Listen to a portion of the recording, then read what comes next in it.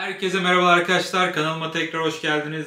Bugünkü videomuzun konusu 5 yılın ardından Almanya'da hayat kalitesi, yaşam kalitesi ile ilgili düşüncelerim. Evet, benim düşüncelerim. Şimdi biliyorsunuz son zamanlarda bu göç meselesi çok popüler olduğu için ben de 5 yıldır Almanya'da yaşayan, 5 yıl önce göç etmiş birisi olaraktan kamerayı karşıma koydum. Yeni bir seriye başladım. İşte Mutlu Muyum'u çektik. Güzeldi, beğenildi. Alım gücü üzerine konuştuk. Herkesin ilgisini çeken bir konu. Bugünkü konumuz ise yaşam kalitesi. Yani aslında bir ülkeden başka bir ülkeye göç ederken e, sadece mutlu olacak mıyım, sadece daha çok para kazanacak mıyım, daha çok alışveriş yapabilecek miyim tarzında sorulardan ziyade benim için önemli olduğunu düşündüğüm dört ana başlık var. Bunlar üzerinden biraz böyle Almanya'daki işte yaşam kalitesini gelmeye değer mi değmez mi bunları konuşacağız. Yine baştan uyarayım arkadaşlar. Ben yanlış anlaşılmaların önüne geçmek adına videonun başlarında bir takım uyarılar yapmayı seviyorum. Ben dünya üzerinde bu birazdan sayacağım dört maddenin işte sağlık, sosyal haklar, işte gelecek kaygısı mesela, adalet ve sosyal hayat. Bu dört konuda mükemmel olan, yüzde yüz olan bir ülke olduğunu düşünmüyorum zaten. Yani günümüzde komün halinde yaşıyoruz. Etrafımızda gördüğümüz her şey insanlar tarafından inşa edildi. Banka sistemi, sağlık sistemi, tüm bu sistemler insanlar tarafından inşa edildi. Gökten falan inmedi yani. Dolayısıyla bunların yüzde yüz mükemmel olması, çalışması, işlemesi imkansız. Hangi ülkeye giderseniz gidin bu durumun çok değişeceğini sanmıyorum. Ben neye bakıyorum? Ben istatistiğe bakıyorum. Artılarına, eksilerine bakıyorum. Yani atıyorum Almanya'da yaşıyorum. Nereden geldim? Türkiye'den geldim.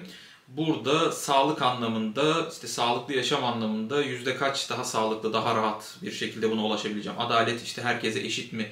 Ne kadar eşit şey yapıyor? Almanya'da ne kadar eşit? Türkiye'de gibi gibi konular. Birazdan zaten biraz böyle kendi başımdan geçen hikayelerle olabildiğince detayına inmeye çalışacağım bu konuların. Ama baştan dediğim gibi bir ütopya hayaliniz varsa, bir cennet hayaliniz varsa göç ederken böyle bir şey yok arkadaşlar. Yine göç ettiğiniz ülkede de yeni problemleriniz olacak, yeni sorunlarınız olacak.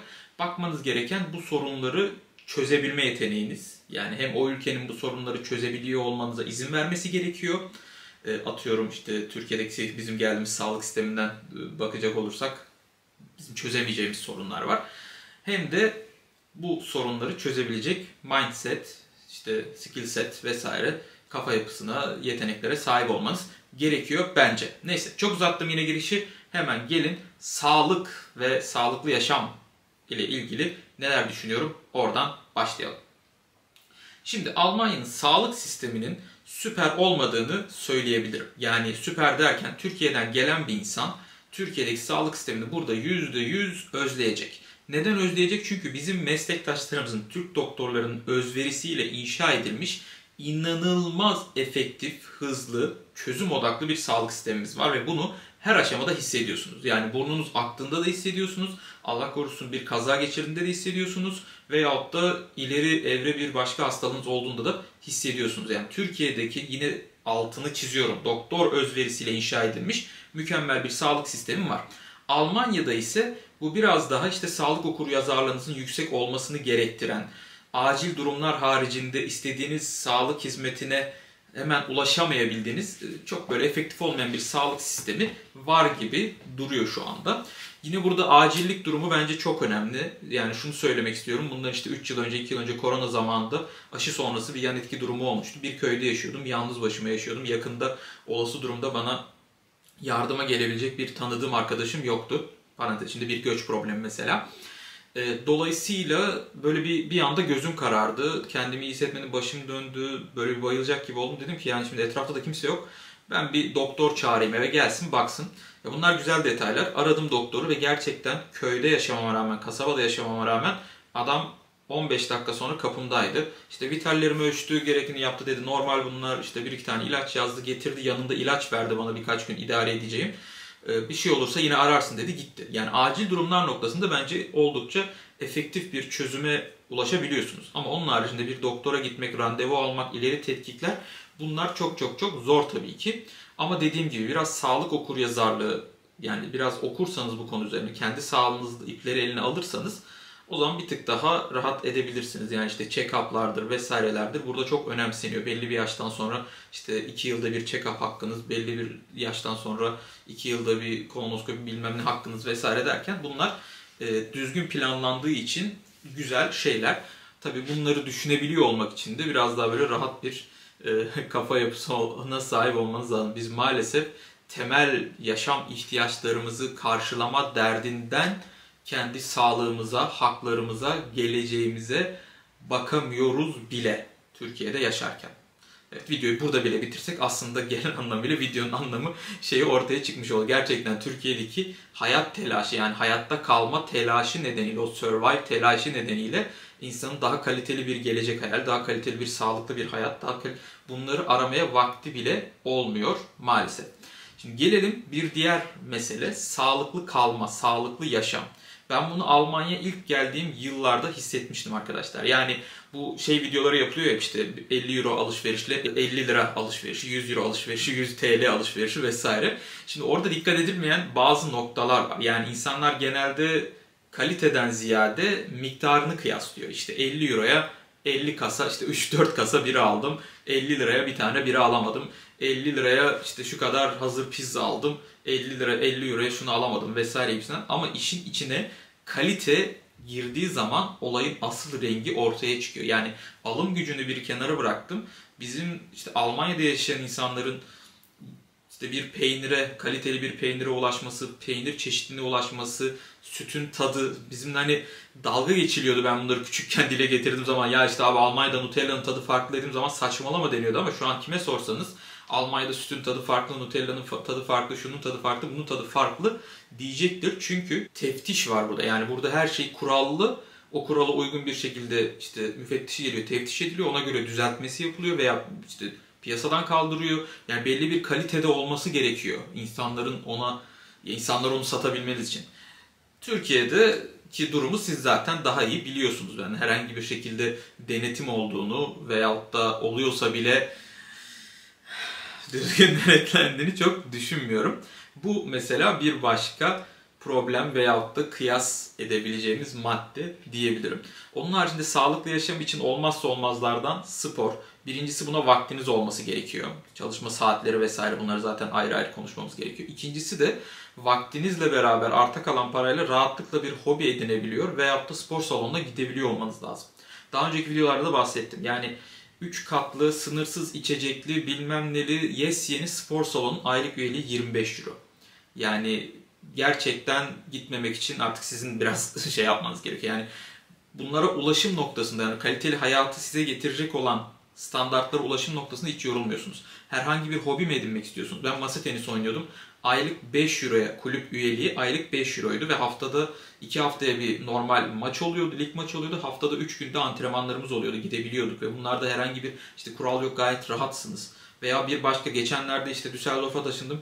Yıllardır dans kursuna gitmeye çalışıyorum. Hani bir türlü e, vakit olmadı da partner hani partnerli dans öğrenmek istediğim için genelde insanlar partner gidiyor. Şu anda bir partnerim yok. Eğer Düsseldorf'ta yaşayan varsa ve dans öğrenmek isteyen varsa çok orijinal oldu böyle videonun ortasında ama yorumlara yazabilir. Bir adet partnere ihtiyacım var arkadaşlar. Çift danslarını öğrenmek için. Neyse fiyat sordum. Aylık 30 euro, aylık 40 euro, aylık 60 euro. Ders sayısına bağlı olaraktan bir ders 6 euroya falan geliyor. Yani Hani geçen videoda arta kalan parayı hesaplamıştık. İşte 1500-2000 euro temel yaşam giderleri gibisinden hesapladık.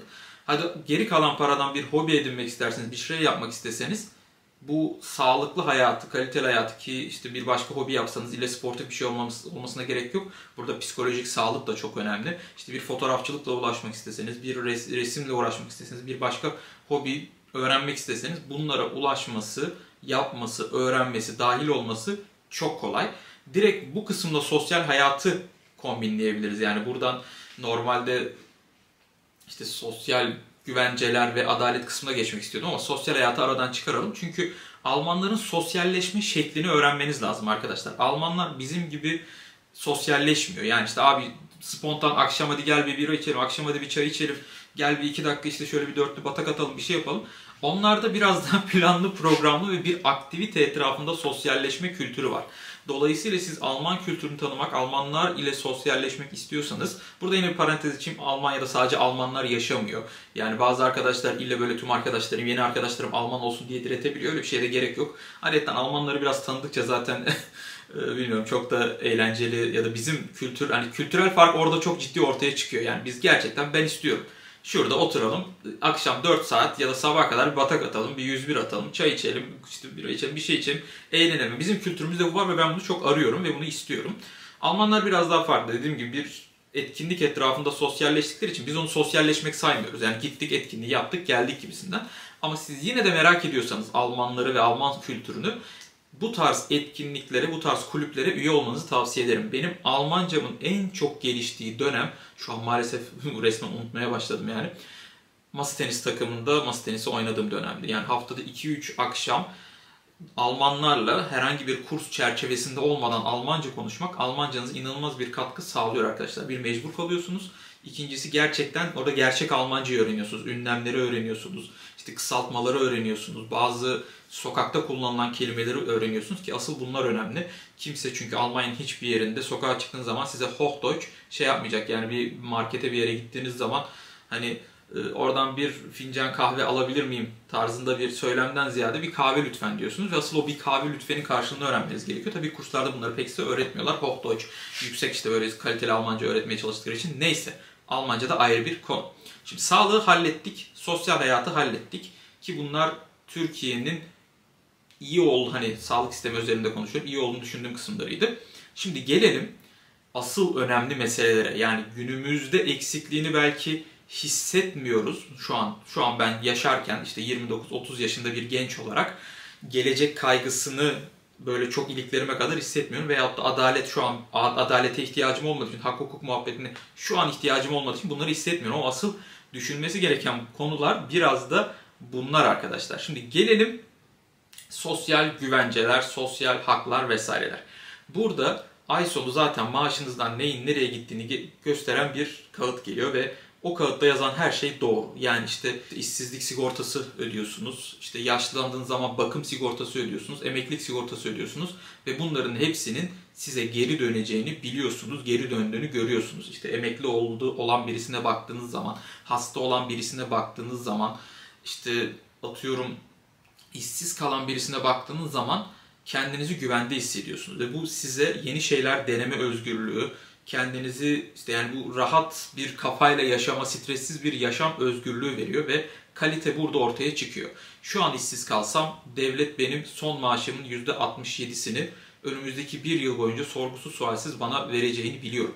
Sonrasında bana yeni iş imkanları göstereceğini biliyorum. Sonrasında gerekirse bir eğitim almak istersem bunu karşılayacağını biliyorum. Yeni bir şirket kurmak istersem buna işte kuruluş desteği vereceğini biliyorum. Biliyorum, biliyorum, biliyorum. Yani bunlar aslında burayı yaşanması kılan, o kaliteli kılan detaylar biraz burada saklı. Veyahut da, şimdi video çok uzun olacak, o yüzden birazcık kısaltmaya çalışıyorum. Adalet. Geçen, geçtiğimiz bundan birkaç ay önce aynı ay içerisinde iki defa arabama vurdular arkadaşlar. Yani normalde olay çıkması gerekiyor. Normalde problem yaşamam gerekiyor. Normalde benim bunları çok dert etmem gerekiyor.